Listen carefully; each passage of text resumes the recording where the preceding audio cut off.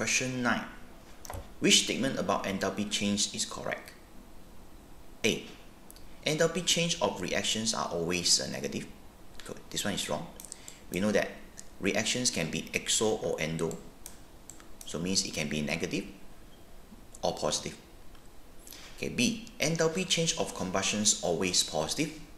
So we know that uh, when something is uh, burned, uh, we can feel the heat because a heat release from the system.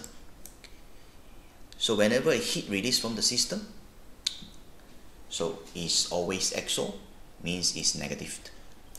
Okay, so therefore B is wrong.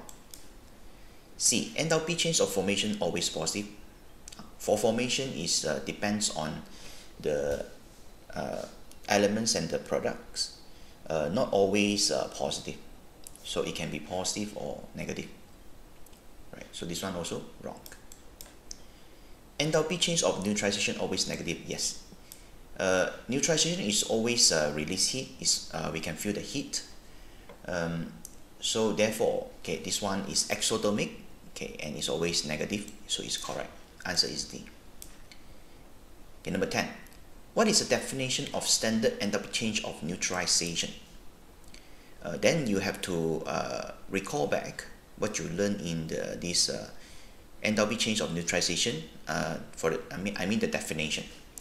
Definition is the the key is to form one mole of H2O. Means when the acid and the alkaline reacts form one mole of H2O. Uh, that's the definition. Uh, for the details, uh, of course, uh, please refer to the textbook uh, for the, the complete uh, definition. So means uh, it just can be D, right? Okay, when the aqueous acid and the alkaline reacts, if they're able to produce one mole of water, okay, the heat that released it can be the it can represent the standard enthalpy change of neutralization. Right.